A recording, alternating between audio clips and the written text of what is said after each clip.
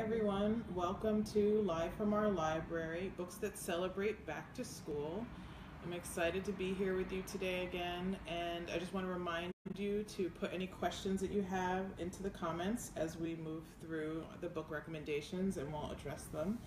And I think I mentioned this the first time that I did Live from Our Library, but since our theme today is back to school, I wanted to remind you guys that I used to be a teacher as well as a public librarian, but my background in teaching is that I uh, did mostly eighth grade, but I taught eighth, ninth, tenth, eleventh, and twelfth grade, as well as GED classes, and I did teach fourth grade briefly. So that's my background, and I'm certified in English, but I'm also certified in math. So um, those are some of the subjects I've taught.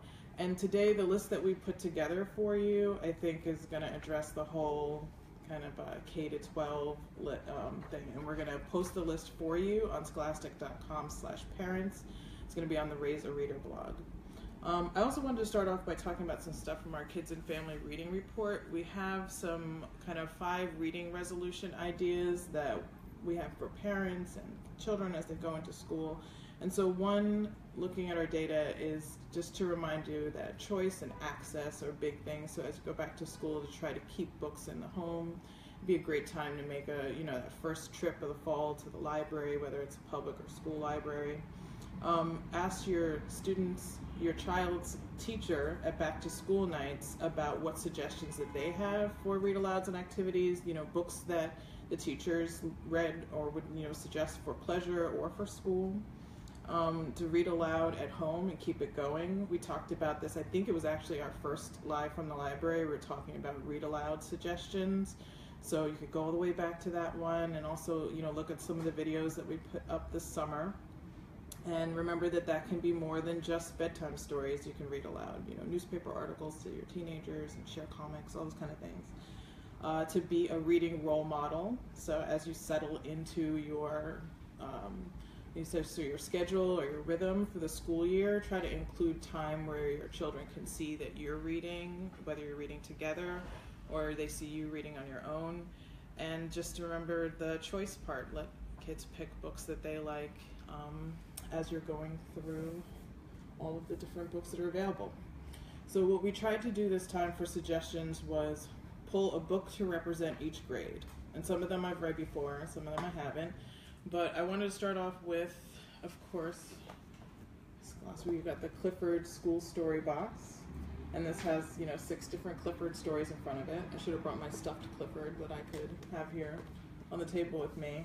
And then I pulled this one, Jerry Spinelli's Stargirl. This is one of my favorite reads um, from when I first started as a teen librarian. The main character is just a kind of quirky, interesting young woman who doesn't let anybody's kind of judgments of the way that she carries herself get her down. She brings her banjo to school, plays music for folks on their birthdays and stuff like that. And she's just a really inspirational young character. So those are that's my favorite that I have. And there are actually a couple of favorites that I mixed in here. So starting off with kind of uh, board books. Can I sign? Can you see that there? Board books and uh, early education. We have a couple interesting ones for the you know folks who are just starting off with going to school. So this one is a rookie reader. Three two one. School is fun. Right? It's kind of like a basic one that you can read as a nighttime story, and then also nursery rhymes, sing along. And this book has some links that you can go to where they have some of the audio for the different songs are included here. Uh, this says this volume includes It's Raining, It's Pouring, The Itsy Bitsy Spider, and Mary Had a Little Lamb. And then one of the things we were thinking about is when you first start to leave home as a very little one and go to nursery school, you may be doing potty training. So we pulled these two um, Potty Hero and Potty Star by Jane Massey. Uh, it's just books that you can read as somebody's transitioning to um, practicing or you know being fully potty trained, you know, going into school or nursery school. All right, so that was the first section, and then remember if you have any questions, just put them down there. Any um, you know. Ideas or particular interests that your child has. I'm going to see if we can come up with some answers for you. Next one is kindergarten to second grade. I'm very excited about this. So the first one that I've got here, Planet Kindergarten. This is by Sue Ganz-Schmitt, and it's illustrated by Shane Prigmore. It's a space adventure for a kindergartner. And then for first grade, this is one of our new picture books. I really enjoy this book. It's called Wordplay by Adam Lehrhaupt and illustrated by Jared Chapman. And the main character that you see here on the cover is a little girl. Each character in here is a part of speech. So I think this is very exciting. This is our first grade book. And so somebody's learning what nouns and verbs and things like that are, this is a great book for that. And then the main character you see here, the verb, she's action, she likes to run, she likes to jump and do things like that. But then she gets challenged when all of a sudden the noun shows up on the playground and noun can be you know people places and things and so they eventually find a way to work together of course but this book is you know starts off it's got the different parts of speech inside of it and it's got a great story wonderful illustrations. So this just came out in the past couple of months very excited about that one. And then i snuck a favor in right here ramona and her father by Beverly Cleary. And in this particular one, there are several Ramona stories, as I'm sure many of you know. Um, they have them all listed here on the back. Um, Beezus and Ramona and Ramona Quimby, age eight. But this one I pulled because in this book she's uh, in second grade. And the Ramona stories, to me, they just you know stand the test of time. And so we talked about choice, where you let um, your children pick the books that they're interested in. But if you want to share one of your favorites, then the Ramona stories are definitely good ones to go for. All right, now we are going to go to third, fourth, and fifth grade, and I misplaced my sign. So you remember last month that my intern made signs. I got to find that one. Hopefully, I didn't recycle it. The first one I've got for third grade is Third Grade Mermaid by Peter Raymundo. Right? And it's a little mermaid named Cora, and she's trying to figure out how to be like the uh, the sirens, the swim team in the school. So that's our third grade book. And then I snuck in another personal favorite. Now this doesn't have the kind of classic cover that Ramona did, but many of you will recognize the title, "Tales of a Fourth Grade Nothing" by Judy Blume. Um, this, you know, fe- features Fudge, um, and Fudge this, you know, there's also uh, Super Fudge and a lot of books in this series. My teacher, Miss Lichtenstein, used to read these books to us in class, and this one in particular, I remember her reading to us. I think at the end of third grade, when we're about to go into fourth grade the next year, and while I probably couldn't give you the plot play by play because just like this book, the whole kind of world is integrated into one big story in my mind. This is, you know, uh, one of, I remember loving it when she read it to us, and I'm sure many of you loved it when you when you were reading it. All right, and then for fifth grade, because we couldn't make up our minds, we've got two books, and so this first one is Sarah Weeks and Gita Varadarajan, and it's called "Save Me a Seat." You've got uh, two. It's a two perspectives, so the authors kind of are working together to tell the story. They actually came and visited us at Scholastic a little while ago and told us what the experience was like working together and you can see that they have their you know two different lunches. Um, they come from two different cultures. The two boys that are the main characters here, they're fifth graders, and they, you know, and one is new to the school, but then they start to have a common problem, which brings them together, which is somebody that's bullying them. So uh, I love the back here. If you can see it, it says a new friend could be sitting right next to you. And then this one, The Only Girl in School by Natalie Standiford. And so, you know, I love this because of the cover illustration. I'm a big fan of just compelling covers, even though we're not supposed to judge the book by it. But you can see this here. And then this story, the young uh, lady who's the star of the story, she is literally the only girl in her school. It's a very small uh, kind of community that's on an island. And until her friend, her best friend left, there were two girls in the school. And then her friend leaves, and it starts off with her writing to her friend and telling her about what it's like now to be the only girl, not just in her class, which I believe has six or seven total students, but in the entire school.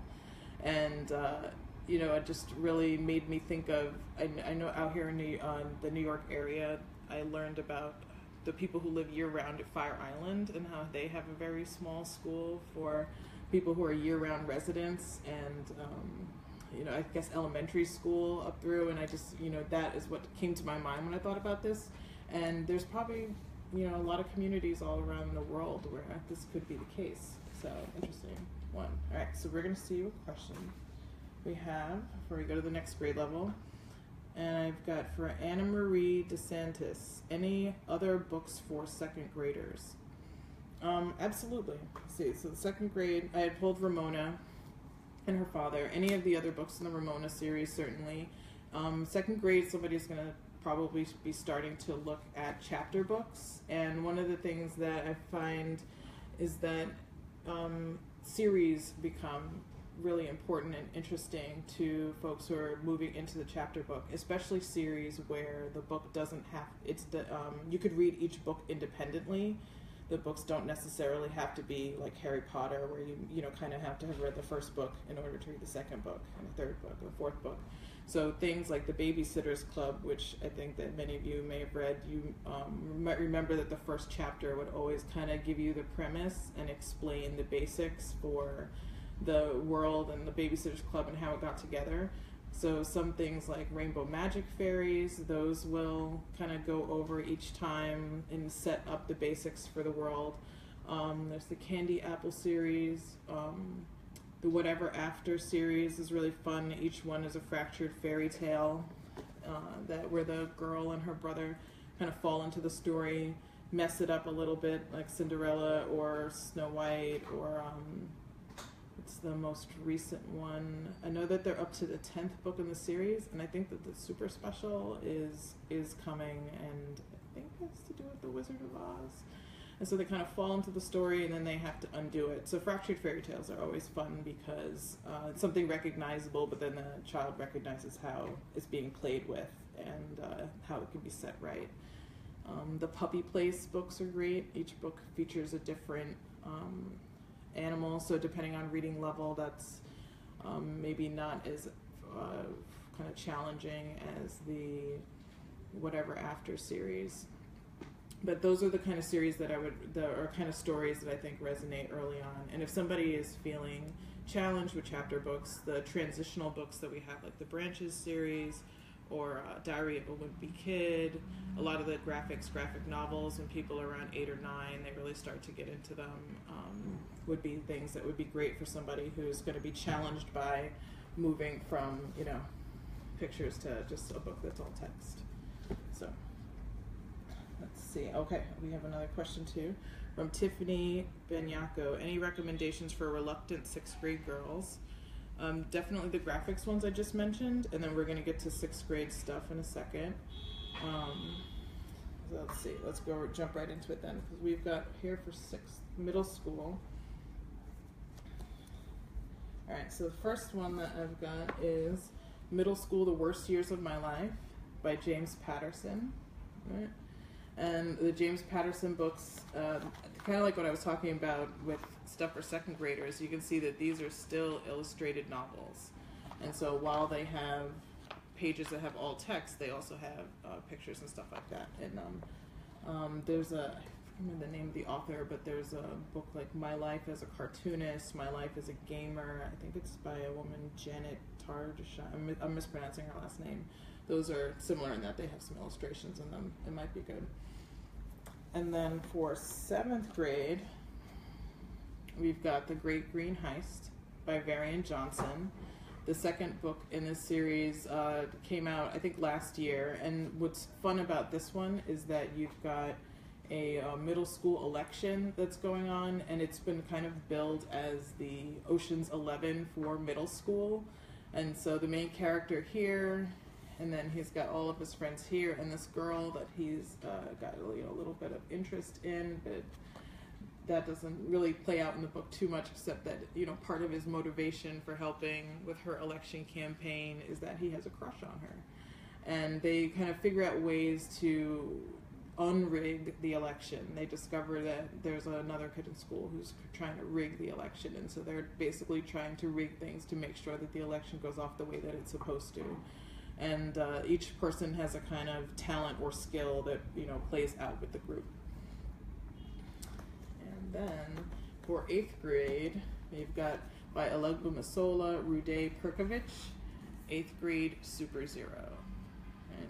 And so in this one, you've got a main character who he starts off with uh, kind of like time signatures. Uh, one is one of the things that reminds me of Star Trek that I enjoy about the book and things that kind of go by very quickly and you can see something unfolding over the course of a day or a couple of days. So it's a fast-paced story. Um, makes me think of like you know Stardate, that kind of things that they would give in Star Wars. All right, so let's see if we have any questions before I go to the next one. From Julie Francis. At what stage, grade, or age do you focus more on nonfiction than fiction, or do you just keep a balance with reading? That is a great question. I think that we, I'm saying I think that. A lot of times we start off with nonfiction as people are learning concepts early on and then when we get to reading text it kind of and a lot of, I, i'm guilty of this. I have a lot of stuff here that is fiction mostly. But sometimes when you see that somebody is not responding maybe to fiction and chapter books that is a good time to explore all of the different options that there are. And you can always when you are reading fiction see if you can find nonfiction to pair with it, and that is something that teachers really respond to as well, trying to figure out ways to pair fiction and nonfiction with each other. So if you're reading something that is like the Magic Treehouse series, they have the Magic Treehouse fact checkers, which go along with that, and then the Fly Guy books, which are picture books. They also have Fly Guy Presents. Um, the Magic School Bus. You know, those um, we sometimes debate here in the library if they're fiction or nonfiction. You know, you're learning a lot of stuff, and yet the bus is becoming tiny and going into the body and exploring all the systems. Um, but those have um, some books too that are also Magic School Bus presents kind of things that are um, kind of giving you a nonfiction take on the kind of kind of work with the fiction stories or the tales that they tell through that. So, uh, really, at any point, I would introduce nonfiction. I think that keeping them side by side is always a good idea. If somebody's really interested in a particular book and responds to a story, if they really like historical fiction, then you can go and find real life stories that go along with it and introduce those. And as some you see, somebody might be a reluctant reader looking at nonfiction, uh, fact books, stuff like the Guinness Book of World Records magazines and newspapers as somebody gets older so they can kind of see what's going on current events. If somebody's interested in sports you know looking for books that are on different sports figures or they give you the basic let's say somebody's really interested in baseball and they're going to become an avid baseball fan in life you can get them those books that t- kind of teach them the basics. What are the big baseball game moments in history and the big players and stuff like that that when they are older and they're the baseball fans they'll be able to kind of just remember off the top of their head. At some point everybody has to develop that kind of canon of knowledge on something that they're really interested in so. Um, one of my favorite fiction nonfiction pairings it's a little bit older is um, probably I have to think about the I can't remember the name of the nonfiction title.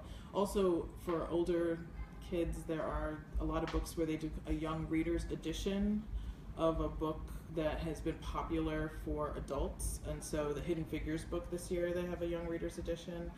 And there's another one that I saw recently that's coming out. So that's something to look for if something is really popular in um, the you know kind of pop culture and that adults are reading. Sometimes there's a young readers edition that you can find. Um, that will be accessible for them. All right, so let's see. Thank you, Julie Francis. All right, so now we're going to go to high school. And for ninth, oh, let me get my sign. Okay. So for ninth grade, I haven't read this one, but we couldn't resist the title Sleeping Freshmen Never Lie by David Lubar, right? a novel. Um, on the back, it says starting high school is never easy, but could there be a worse time for Scott's mother to announce she's pregnant? Now, one of the reasons this resonates for me in particular is because there's 14 years between me and my youngest sibling. I'm the oldest of six, and my brother was born when I was either ninth or 10th grade. And so this is uh, the premise right here immediately hooked me. And then I'm very excited about this one. We have this for 10th grade. Mean Girls by Micol Ostow, based on the screenplay by Tina Fey. Um, you know, if any of my st- former students, now parents, are watching on this video, you may remember me quoting this all the time.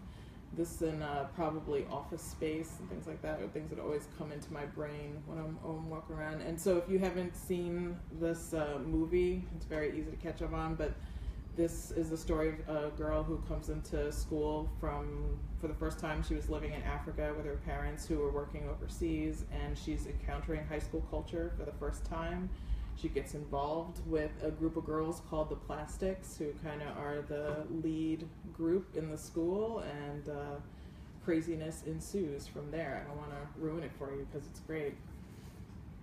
And now that Scholastic has this book out, it means I can wear all my Mean Girls t-shirts to work official gear. And then this is also a new book that we've got out recently. It's called The Lines We Cross.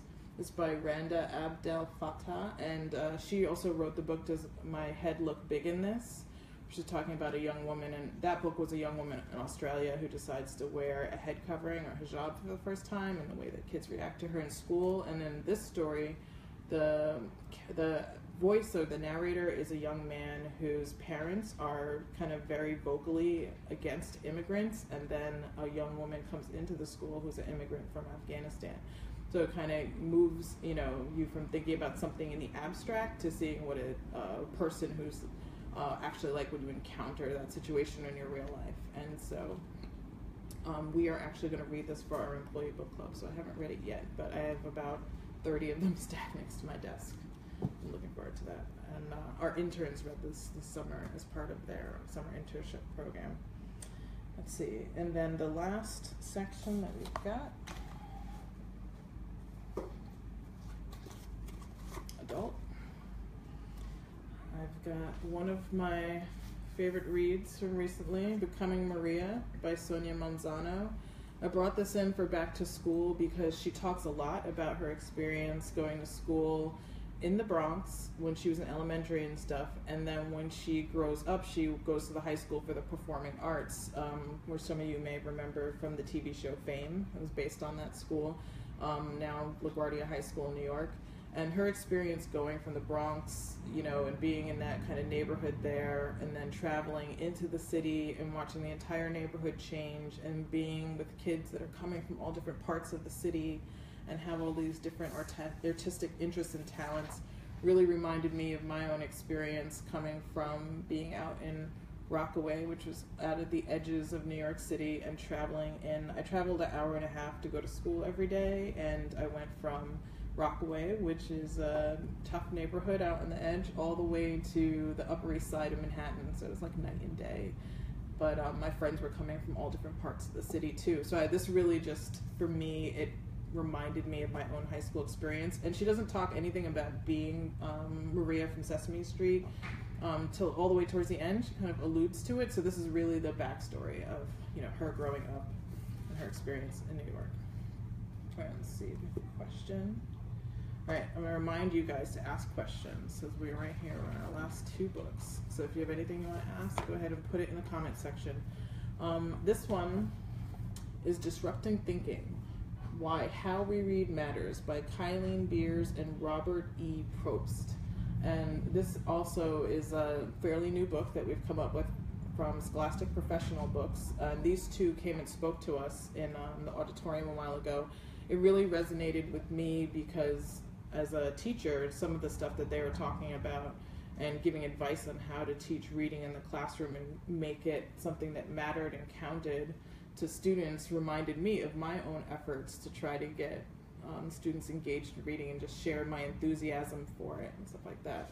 So this book has been getting a lot of positive reaction. You can look up the hashtag disrupting thinking and stuff like that and see some of the amazing things that people have been saying about it. And I look forward to whatever they do next because I really appreciate their theory. And then the last one I have is also from our professional group um, teaching students to conduct research projects by Ryan K. Gilpin. Right, it was very, very exciting reading. But you know, as a former teacher, this was something that was very important to me, and I made a choice when I was working with tenth graders that I was going to focus on uh, teaching them how to do research and write academically, so that when they got to college they wouldn't be hit with that. Um, sometimes some of the college professors will feel that freshmen arrive and they're not quite ready to do research. They don't know how to do it. So I had to think to myself, you know, what's more important that we, you know, we're doing the novels or that we're doing research, and I figured out ways to manage to do both. But I think that these skills in particular are very important for students to have. Um, you know, going to the library, hint, hint, hint, and things like that. All right, so let's see if we have any more questions. Well, if you guys have any questions as you watch this video, you want to put down in the comments section or any suggestions. We had the question earlier about books for second graders, books that are nonfiction. Um, go ahead and throw those down there, and I'll see if I can come up with any additional suggestions for you. Remember that you can go to scholastic.com slash parents and the uh, Raise a Reader blog is where we're going to have the list of all of the books. And you can also find some different resources and book lists and stuff like that that um, kind of give you ideas for books books for back to school in addition to ones we mentioned. And then just you know all kind of suggestions for preparing yourself and your children for school. And if you go to our facebook page you um, scholastic.com no the facebook page for scholastic parents then you'll be able to find links to all of this. And um, we look forward to seeing you next month. Thank you.